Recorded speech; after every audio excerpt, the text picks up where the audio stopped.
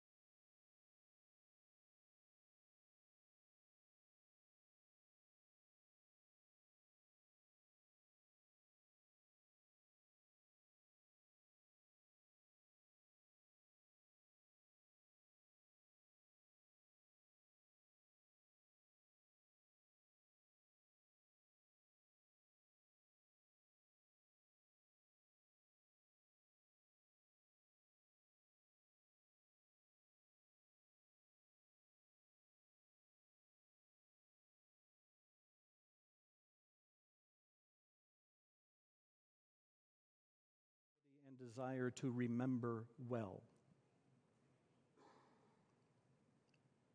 I pray that today, as we huddle around your word one more time,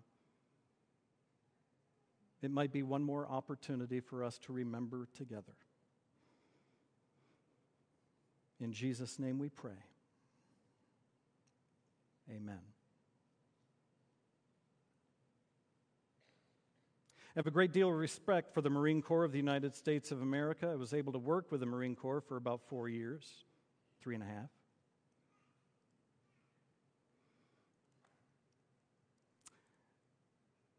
There is so much of the dedication, so much of the seriousness that I have great appreciation for. I love the slogan. Not the shout out, every branch of the military has that right? Whether it's hooah or Marine Corps, oorah. And it goes on and on. But semper fidelis. Semper Fi. Always faithful. There is testimony after testimony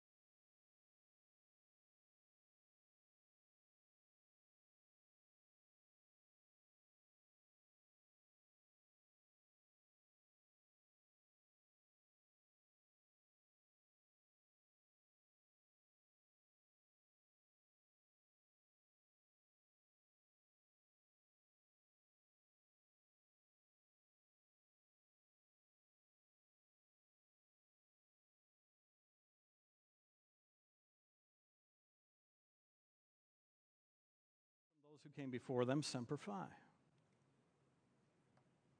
Semper Fi. Semper Fi.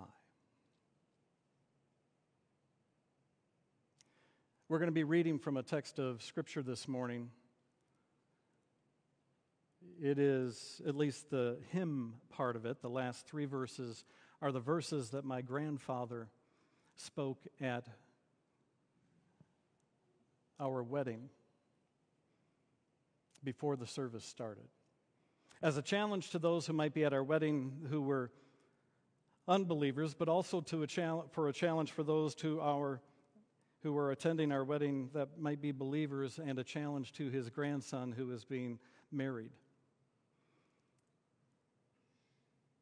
2 Timothy chapter 2 beginning in verse 8 remember we've just come out of Paul describing to Timothy, you've got to persevere, you've got to endure, and you've got to play by the rules. There's got to be discipline.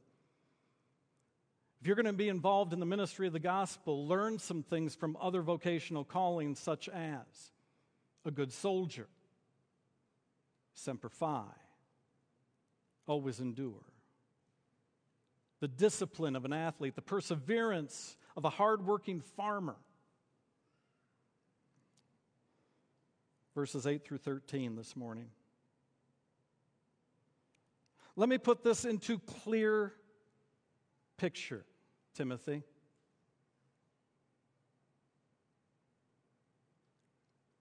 Perhaps God brings to mind the soldier, He brings to mind the athlete, and He brings to mind the hardworking farmer at different stages of your ministry.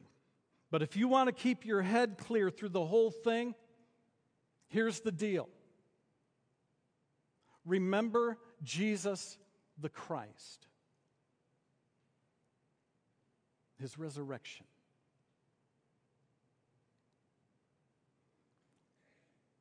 Remember Jesus Christ, risen from the dead, offspring of David, as preached in my gospel, for which I am suffering bound with chains as a common criminal.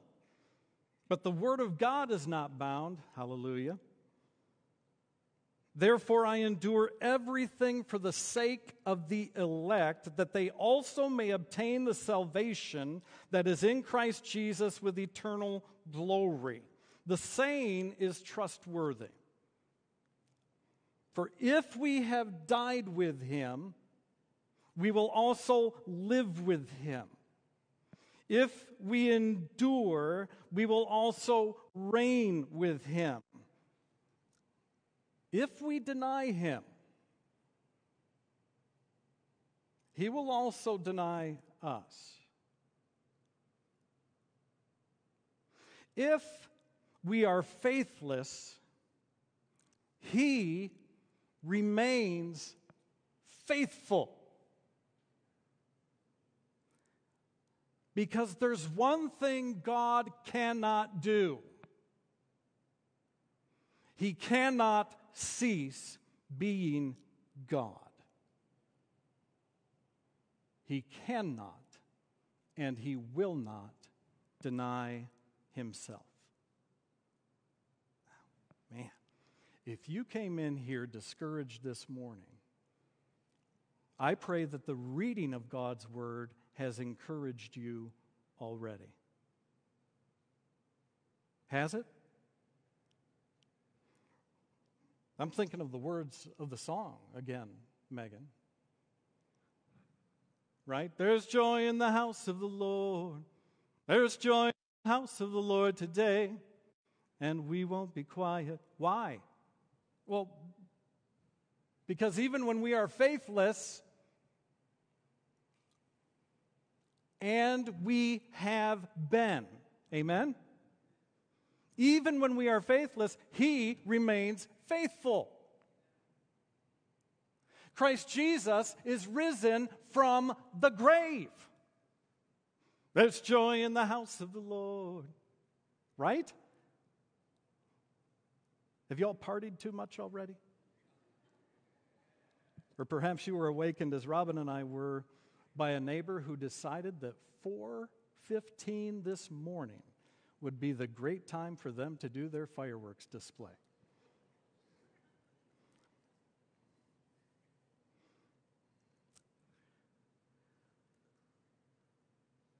In everything, give thanks, for this is the will of God in Christ Jesus concerning you.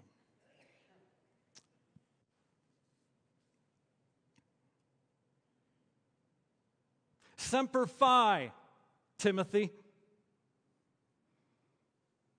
He's already said that in chapter 1 twice. He has said that at the beginning of chapter 2. Semper Fi, always faithful, regardless of the circumstances. You remain faithful. You endure for the sake of the gospel. You take your share of the sufferings that come as a result of being faithful to the gospel. The rally cry. That is an oorah moment where you're rallying together, realizing the battle is real. If you don't see it, open your eyes. If you can't hear the sounds of battle, open your ears. If you don't sense it, walk in this world and you will see clearly we have been called to a spiritual battle. Be faithful always faithful, always faithful, regardless of the circumstances.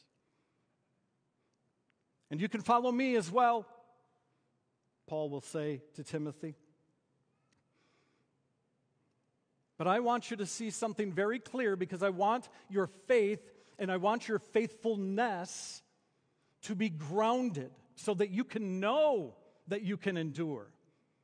I don't think I can. If it's in your own strength, and according to your own power and your own story. You cannot. That's why I beg you remember Jesus Christ. Church, are you with me? When circumstances come at us and people come at us hard, our first response is usually to think of and to try to preserve ourself. And he's saying, Remember Jesus Christ. And I want you to get this word. This remember is not a, a fond thinking back on.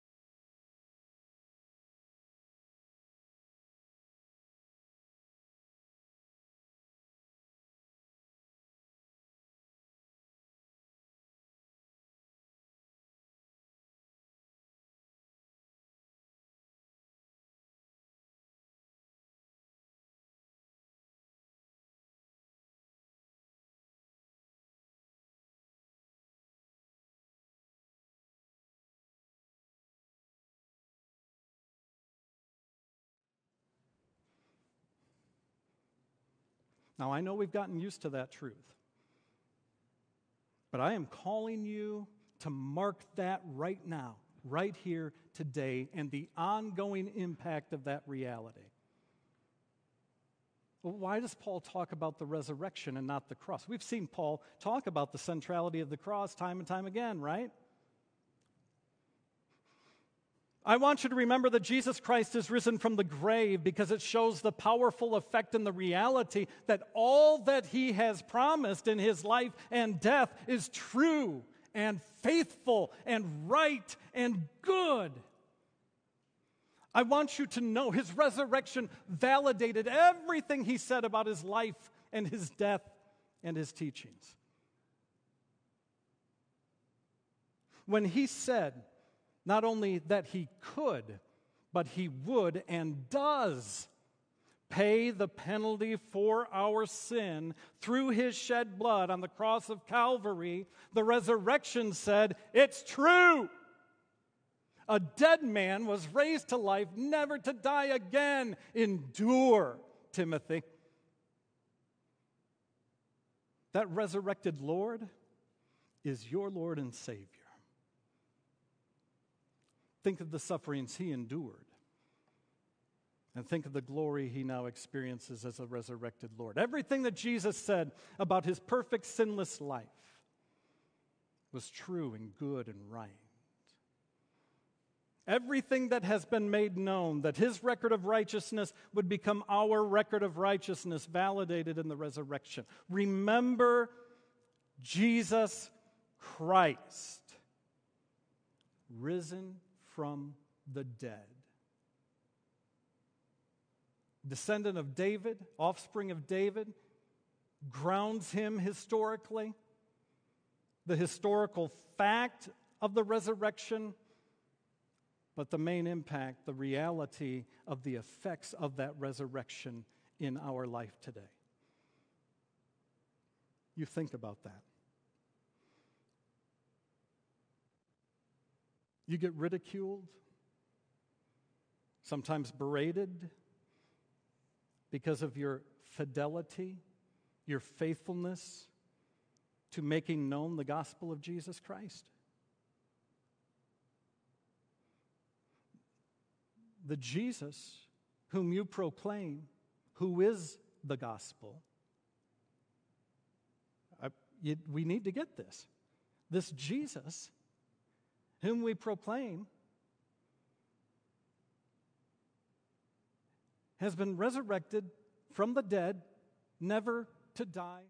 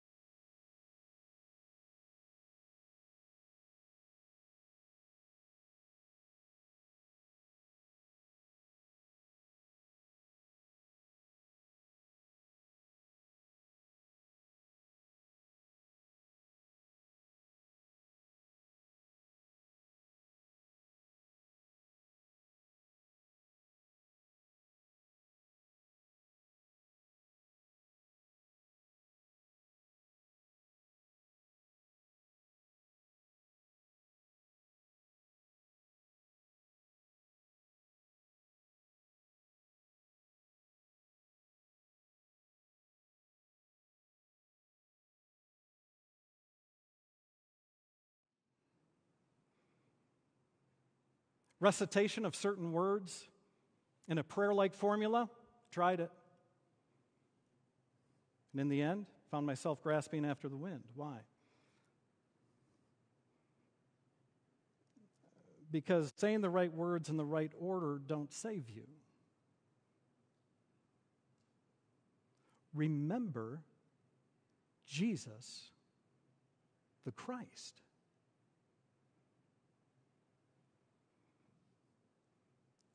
Jesus saves.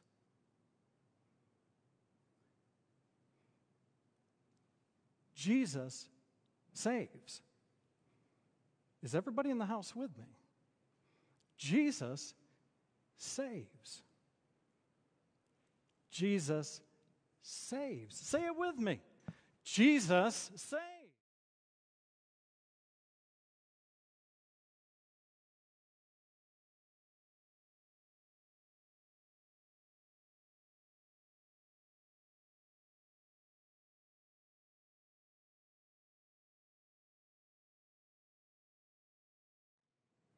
Risen from He's risen from the dead. He's the offspring of David as preached in my gospel, the gospel that was given to me by Christ himself. It is because of this gospel, Timothy, that I am suffering. These aren't just general sufferings of aches and pains and heartache relationships. Although some of those sufferings could be heartaches of relationships that come from his fidelity to the gospel. But I'm suffering in that I am bound with chains as a criminal, a common criminal. You know where this word is used? This common criminal word? There's only one other place, it's in Luke. It's used for the two, the two dudes that are on either side of Jesus. At the cross of Calvary, that's what I've become for the sake of the gospel. I'm a common criminal, bound in chains. So, now is this during the time of Nero and everything that's going on? Eh, probably. But here's the deal. I, th- I think of this, of this historical lesson often. A pastor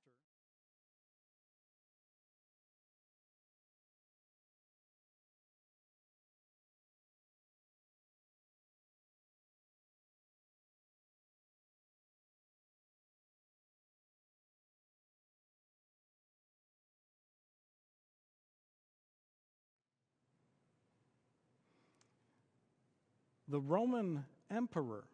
And this made the testimony of this guy sharing his faith in Jesus Christ, remembering Jesus Christ and the power of Jesus Christ, knowing that there was no greater message for him to make known. People heard of this little pastor, and it's not like he's a big city guy. He's kind of more of a rural kind of guy. In fact, in order to, to keep his life for an extended period of time, he would have to run because the testimony of his preaching made its way all the way back to the Roman emperor. Think of that. This is an 80 some year old guy who's proclaiming the gospel of Jesus Christ. And you know the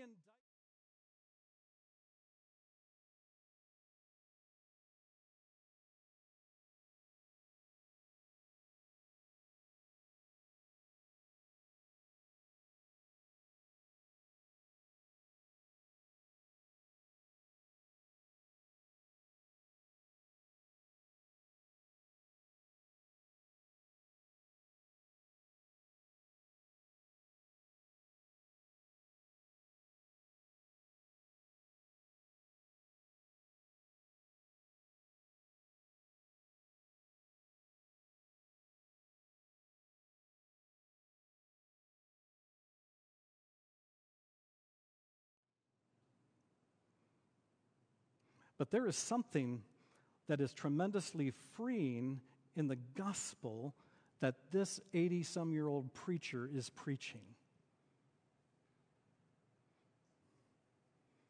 These people don't have fear of the Roman Empire. In fact, they have a vision, an eternal vision, that is quite glorious that causes them to live today in light of what they say they know to be true about the future. What can you do to me today that's going to take that away from me? Not a blessed thing. Glory, hallelujah. And that's part of what this text goes on to say, right? This man is destroying our gods. They sent soldiers out to get him. They would chase him. And then people would try to protect him and they would take him through different places and they finally found him.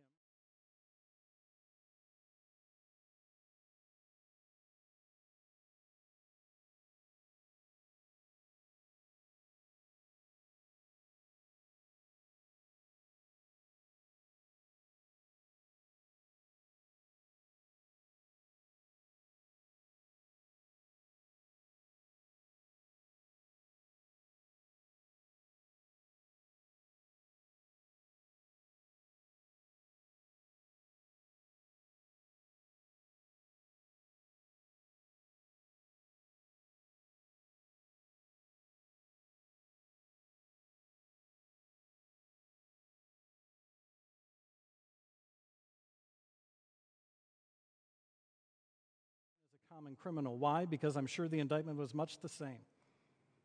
There are all kinds of disturbances that take place when the gospel is proclaimed. Because Jesus, when it comes to being made right with God, Jesus is not inclusive in his thought of what enables persons to be made right with God. Jesus is an exclusivist, saying, I am the only way, the only truth, the only life. No person is made right with the Father. No person can be made right with the Father unless they come through me, because I am God Himself and man, the fullness of humanity. Remember Jesus Christ. Yes, I'm suffering as a common criminal in my chains.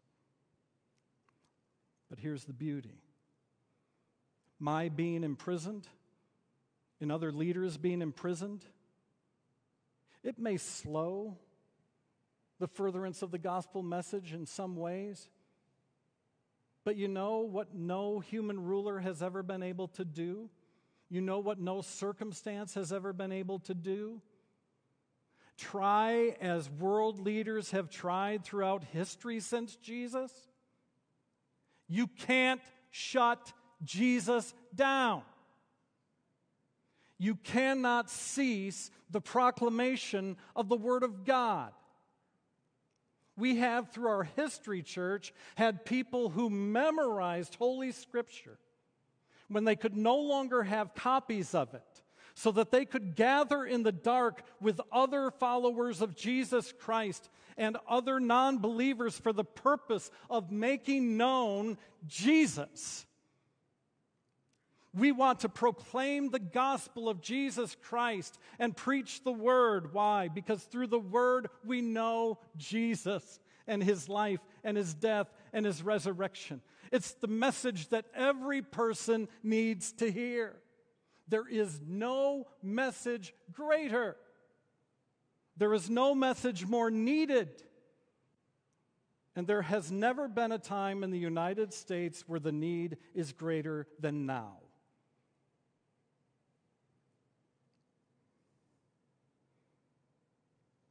The Word of God is not bound. But they're trying to limit the different places where you can. The Word of God is not bound by whatever our government decides. Amen? Can't be. Take heart, brothers and sisters. Remember Jesus the Christ. No governmental leader has been risen from the grave, never to die again, showing his power and authority over death, sin, and Satan.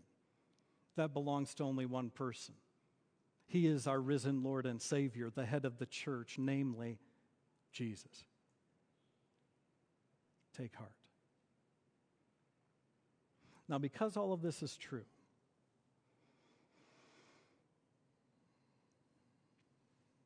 I need for you to understand, Timothy, the call that I'm trusting to you is the call that I myself have received. And by God's grace and for His glory, I believe that I can look at you and say, Semper Fi. I have not been perfect. The Lord Christ was the only one who was perfect. But I am finishing my race.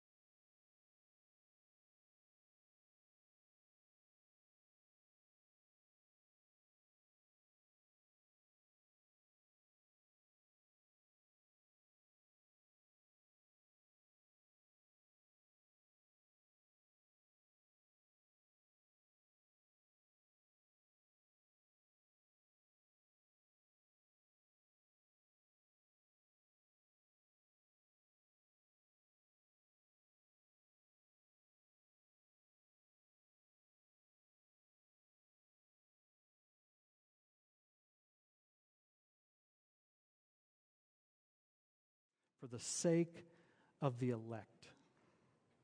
I will endure everything because God has produced within me a love for his people. Isn't this interesting here that he uses the word elect? Well, Pastor, I don't like that word. I don't like the thought of election.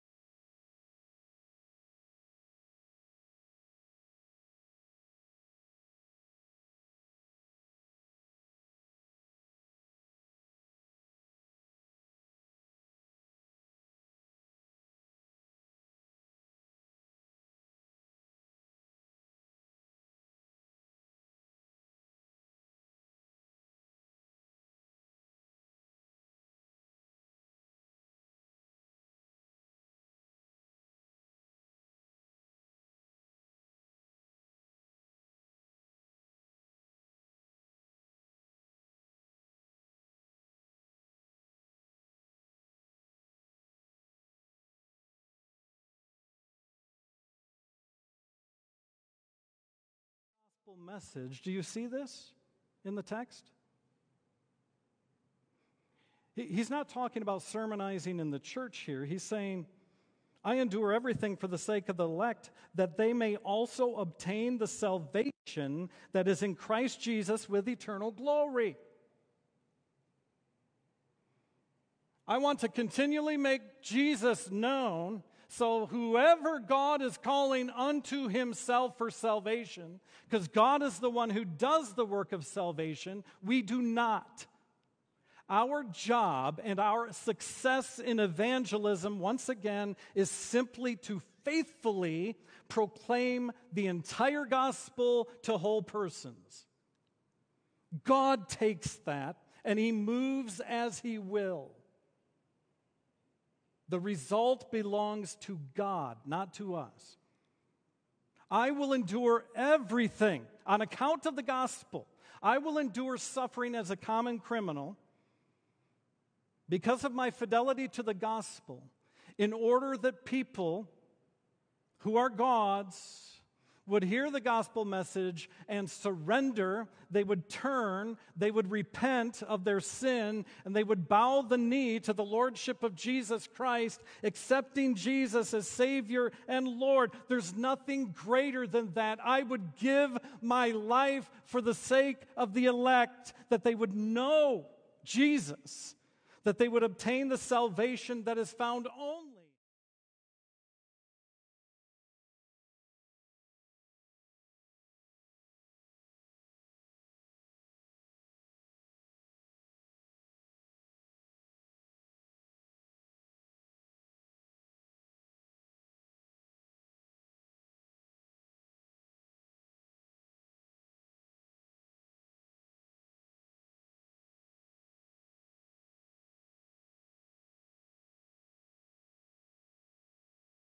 up in the short game. That our whole life is focused simply on what comes next, here and now. And we're striving to build our name, our kingdom, our will in a variety of ways that our culture tells us you need to function in order to build your own name, kingdom, will. So that the name, kingdom, will of our Lord Christ dwindles in the midst of our building our own. We've completely lost sight of the long game. We live in light of the short game, and that was the warning that Paul was giving to Timothy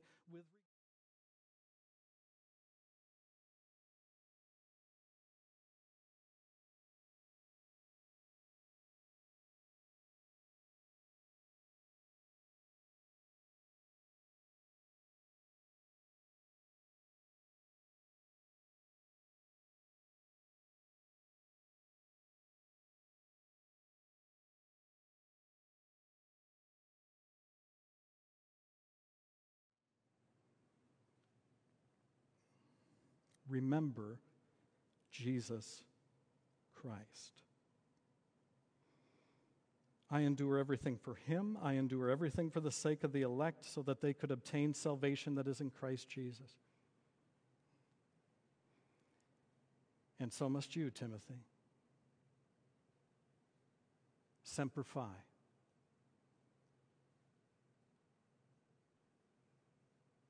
But it's true, it may cost me relationships. Semper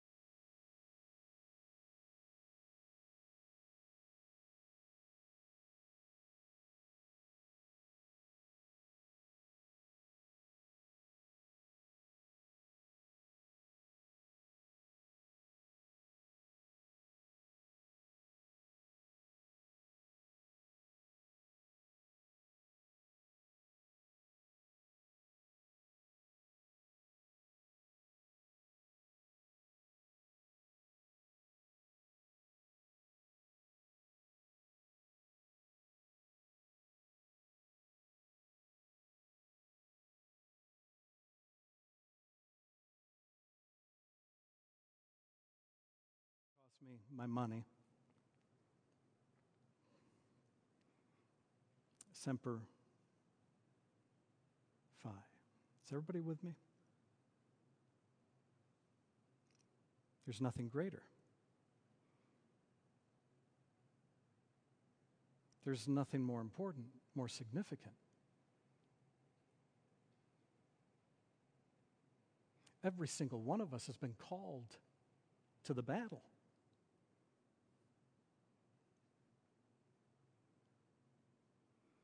And it is one thing to do the rally cry up front and everybody raises their hand and together shouts, Hoorah!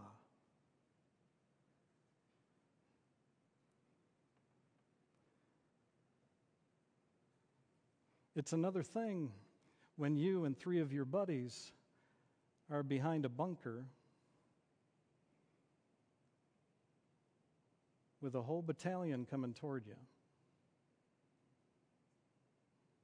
What are we going to do?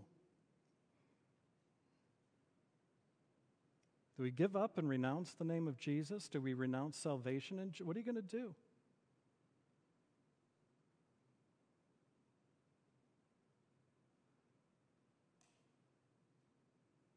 I'll endure anything for the sake of my Lord Jesus Christ and his people.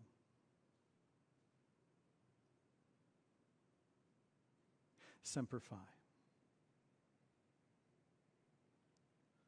See, we have the conversations now, brothers and sisters,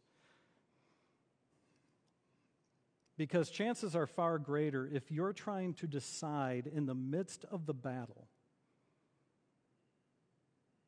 Am I going to be faithful right now or not? Chances are far greater that you will not.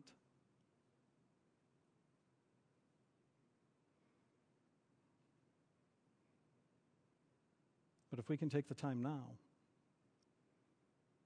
and remember Jesus Christ.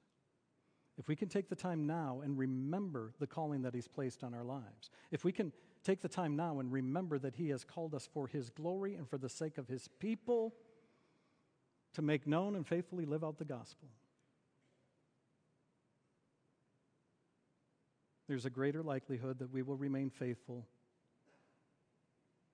when the battle comes at us hard. And we will remember that we have never walked alone.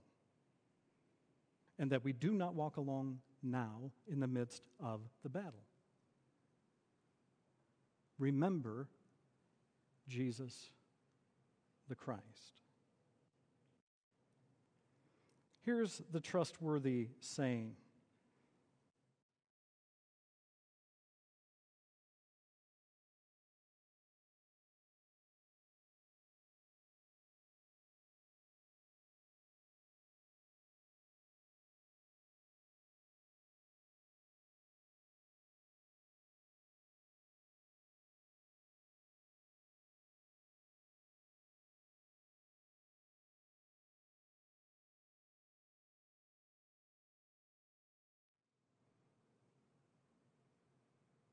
Suffering's worth it. If we have died, if we truly have died with Christ, let me encourage you, brother, come what may, regardless of what takes place, we will live with him this day and forevermore, every day for eternity.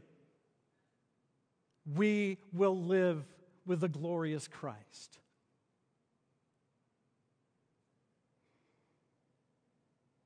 Son, you must endure. If we endure, we will also reign with him. It's worth suffering today because the sufferings of this day are not worthy to be compared to the glory that's going to be revealed through us when we are revealed to be truly the children of God in Jesus Christ. Hallelujah. But a warning.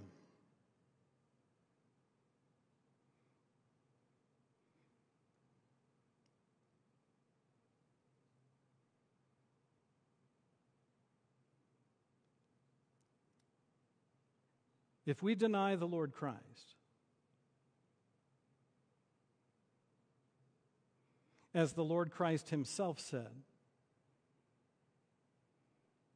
he will look to us and say, Depart from me. Literally, you were never mine.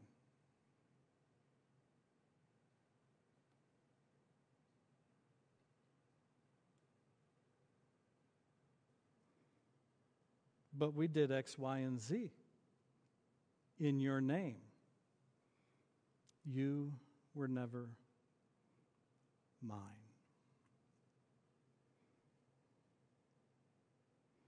But let me give you great encouragement this day.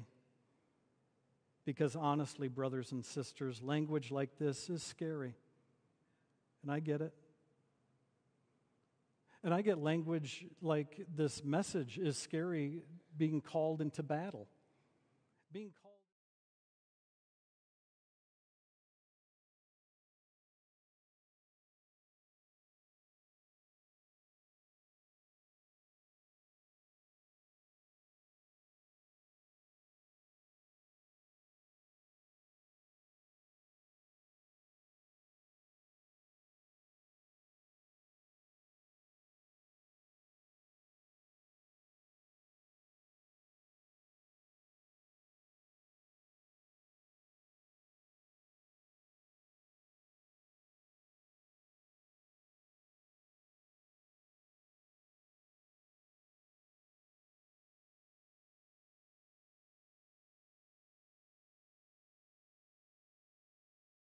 called when I live like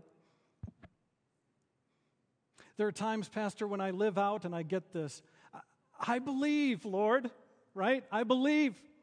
Help me in my unbelief.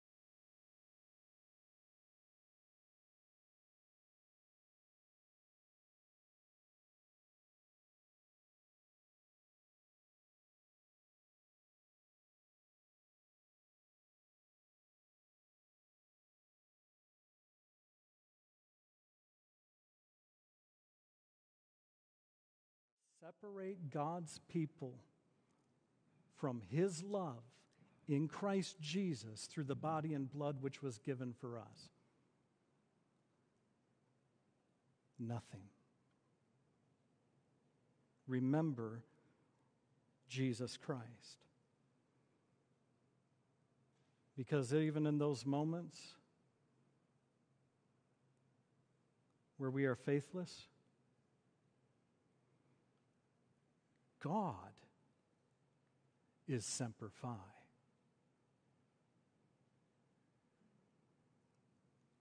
God is always, eternally faithful. Because he cannot deny and will not deny his own character.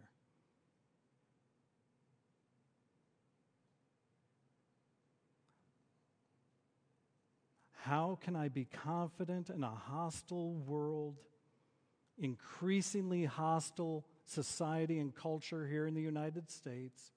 How can I be confident in making known?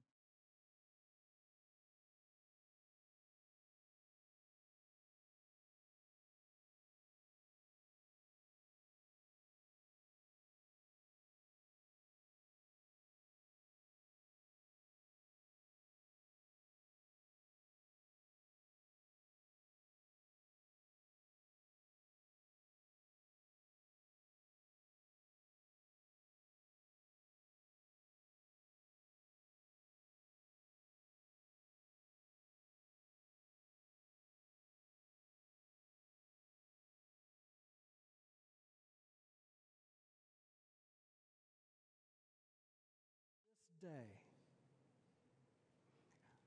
We will endure it, and one day we will reign with him forever and ever. Regardless of what we feel this day, one day we will stand in his presence and know beyond any shadow of a doubt that would ever